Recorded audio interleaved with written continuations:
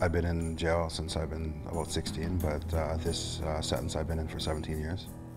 There comes a time when you just get fed up with running from cops and running from everything. You're fighting over these stupid colors. We have a philosophy at Stan Daniels that we can't help you if you don't help yourself. Things I was taught is you don't talk about things like that, you keep it in silence. It's a place where you can fight those demons that you have deep inside.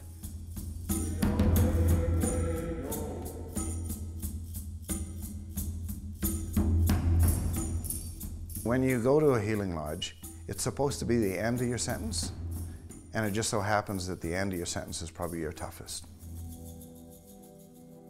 You have to be able to heal yourself to the point where you're comfortable walking out into the community and, and holding a job and being able to, you know, to be a, a support to the people in your family as opposed to a burden. Education was a big part of what I've been doing for the past few years, um, working towards a business diploma. Here I have opportunity to use the, the phone freely as I need. The director grants me access to internet if I need to do research on funding or courses. I finished schooling while I was inside and I uh, got my actual diploma. And then I picked up an apprenticeship in welding.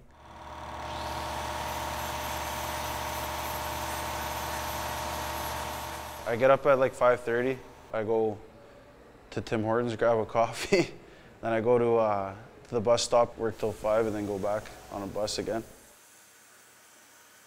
And so employment is a key part of what we do. We like to get them engaged as quickly as we can within the parameters that we have to work with in either a work release or getting employment as quickly as we can. Because the, the real world is you, you have to be able to provide for your family. If you don't have that, then you fall back into the old habits. I work hard during the week and, you know, right now I still got a little bit of rules, uh, little things that I have to follow. When I do get full pro, that's, it's gonna be, it's going to be weird for a little while. It's going to be a little scary, but uh, it's something I'm looking forward to. I've been looking forward to that for a very long time. Right now I'm not paying a lot of bills, like power bills and water bills, so I, all that's in the future. I don't know what's coming, right? So sometimes it's a little scary. Sometimes it, it sometimes it overwhelms me because I, I don't know. Uh, that's a lot of responsibility. I just want to work and stuff and just be a productive, law-abiding citizen out there now and not getting involved in stuff anymore. Getting a real check on the street, that's what kind of keeps me motivated to stay out of trouble and stay free, you know. It may not be as much as like the fast money was, but the fast money wasn't worth it, so I'd rather stick with something that's honest. We have a uh, required savings account, a trust account, where 30% of what they make is theirs and will always be theirs. It helps you with your first couple months of rent or something, or help you get on your feet out there instead of just kicking you out and have nothing.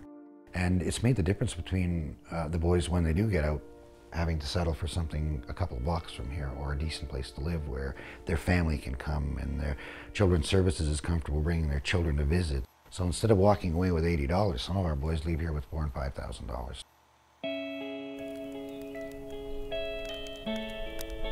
What we try to do is teach them about forming a foundation of beliefs and values and having their own sense of dignity.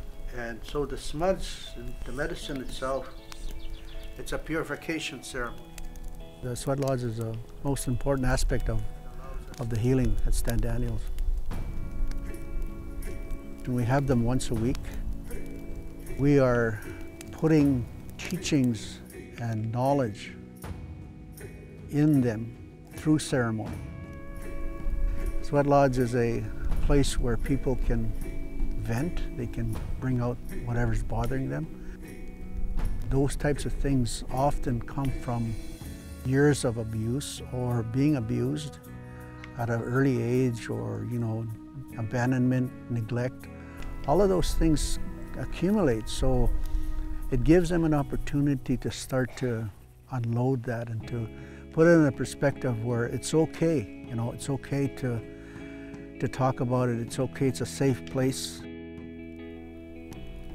They ask for that forgiveness, right, through the ceremonies, to be forgiven for what brought them to prison in the first place. And so we say to them, well, you ask for forgiveness.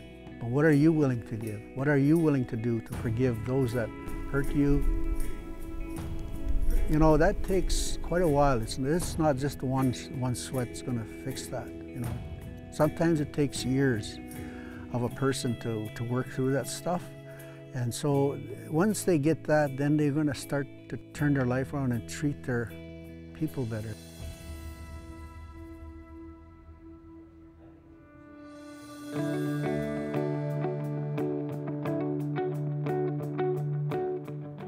The most important thing that we provide is the sense of hope. Healing provides hope. The warrior program provides hope. The ceremonies and the elder interventions that we have here provide hope because it's not about beating somebody up for what they've done.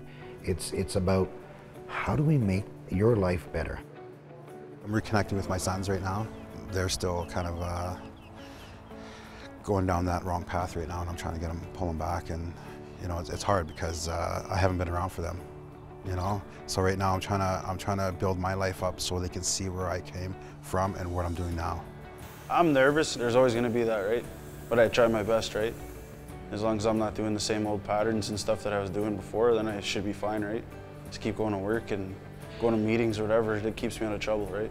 The healing part is about a lifetime free, not just getting them out so that they make it to their warrant expiry, but getting them out so that they won't come back. In order for you to be successful, you have to be true in here.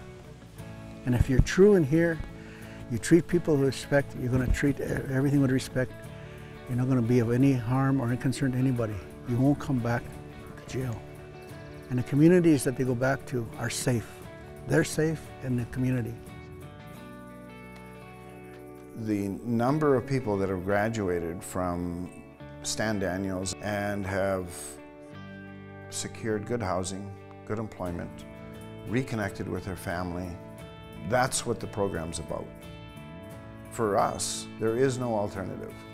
It's the only way we can do it in order to break the cycle of violence, child welfare, of criminal behavior, and so they need the Warrior program.